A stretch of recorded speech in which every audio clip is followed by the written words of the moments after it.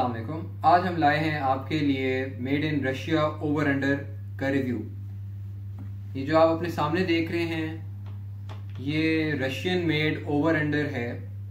एक होती है साइड बाय साइड जिसकी बैलेंस लेफ़्ट राइट होती है, और एक होती है ऊपर नीचे, जो ओवर अंडर कहते हैं। ये रशिया की शुरू की ओवर अंडर है, जिसके इसके अगर आप देख सकें तो ये रशियन दो ट्रिगर वाली ओवर अंडर है। जितनी भी आजकल आ रही हैं, उनका एक ट्रिगर है और वो एक ही ट्रिगर से दोनों चेंबर से फायर करती है। अब आप अगर जो अपने सामने देख रहे हैं कि जो रशियन वेपन होते हैं, उनमें खूबसूरती बहुत कम होती है और बट उनकी reliability level is too high reliability level plus इसका जो मेक होता है रशियन वेपन्स का that is very much good ये आप अपने सामने देख सकते हैं कि इस पर कोई खूबसूरती नहीं है, मगर ये वेपन अपना काम बेहतरीन किस्म का पूरा करता है। अगर हम इसके बारे में बात करें तो ये इजेक्टर है। ये देखें, ये ये इजेक्टर ओवर अंडर है और इसका जो मॉडल है वो है M P A six five ये Russian M P A six five है और इसका it's a dual ejector plus इसके अंदर ये सेफ्टी की ऑप्शन है, किधर दी हुई होती है। अगर हम इसके वेट के बारे में बात करें तो इसका वेट तकरीबन डेढ़ से दो किलो वेट है, और ये बहुत ही लाइट वेट यूज़ के लिए है, और इसका मेड इन रशिया यहाँ नीचे लिखा होता है मेड इन रशिया लिखा हुआ है इधर नीचे।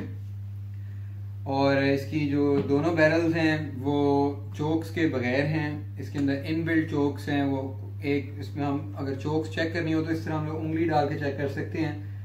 कि जो ऊपर वाली इसकी चौक होती है वो थोड़ी टाइट होती है और जो नीचे वाली होती है वो थोड़ी खुली होती है। तो दैट मेक्स लाइक कि जो आपने फायर करना है तो आपको अंदाज़ा हो जाता है कि अगर आपने ऊपर वाली बैरल से फायर करना है तो वो कितना थोड़ा सा रेंज बढ़ जाती है नीचे वाली से थोड़ी सी नीचे हो जाती है और इसी तरह ही सिस्टम होता है इसका। ये जो आप आ, सामने आपके है रशियन मेड है शॉटगन और ये बड़ी ही light weight easy to carry है और मुझे इसको इस्तेमाल करते हुए बहुत अरसा हो गया है और आज तक इस वेपन ने मुझे कोई मसला नहीं दिया।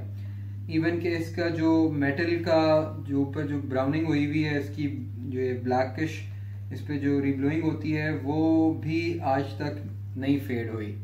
तो यही फ़र्क है हमारे रशियन वेपन्स का कि रशियन खूबसूरती कम देते हैं इनग्रेविंग वगैरह कम देते हैं, मगर वो क्वालिटी आउट क्लास देते हैं।